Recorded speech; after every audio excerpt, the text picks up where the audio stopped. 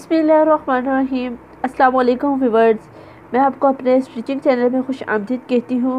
उम्मीद करती हूँ आप सब खैरियत से होंगी। आज की इस वीडियो में मैं आपको रिबन फ्लावर बनाने का तरीका बताऊँगी। इन उम्मीद करती हूँ मेरी नई सीखने वाली बहनों को बहुत अच्छे से समझ आएगी। लेकिन इससे पहले आपने हमेशा की तरह मेरी वीडियो को लाइक करना है, फैमिली और फ्रेंड के साथ शेयर करना है और जिन्होंने अभी तक मेरा चैनल सब्सक्राइब नहीं किया, प्लीज़ वो मेरा चैनल सब्सक्राइब कर दें। ताकि मेरी वीडियो के नोटिफिकेशन उनको मिलती रहे। तो मुझे किस तरह बनाए जाते हैं? आप मेरी वीडियो को एंड तक देखना। इंशाल्लाह आपको बहुत अच्छे से समझ आएगी।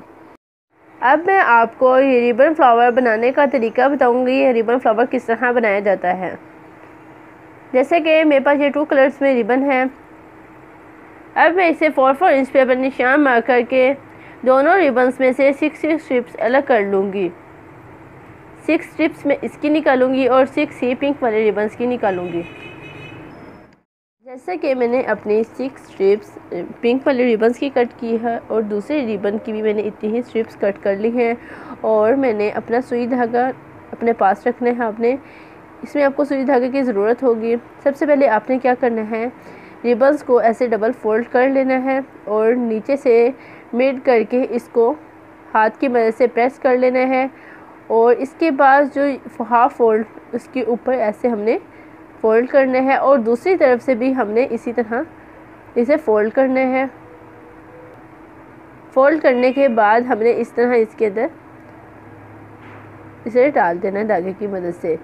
इस तरह हमने सब पिंक फ्लावर्स को इस तरह स्ट्रिप्स में डाल देना है।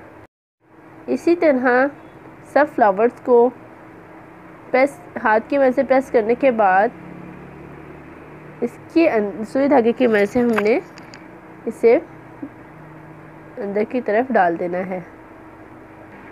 अब जैसा कि मैंने अपने फ्लावर्स को इस तरह अटैच कर लिए हैं अब मैंने इसकी गिरा लगानी है। दूसरी तरफ़ आपने थोड़ा सा धागा छोड़ देना है अपना। और हमने इस तरह इसकी गिरा लगा के इसका फ्लावर बना लेना है।